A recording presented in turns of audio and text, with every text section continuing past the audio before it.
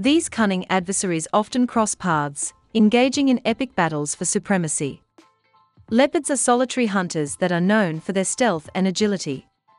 Spotted hyenas are social animals that live in large packs. These two predators have different hunting strategies, which often leads to conflict between them. Number 3 Elephants vs. Rhinoceros. In the realm of giants, elephants and rhinoceros share a struggle for resources, particularly water and fertile lands. Their powerful encounters can be earth shaking and captivating. Elephants are the largest land animals on Earth, while rhinoceroses are the second largest. These two giants are often at odds, as they both need access to the same resources.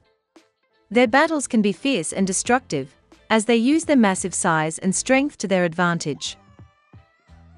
Number 4 Cobra vs. Mongoose.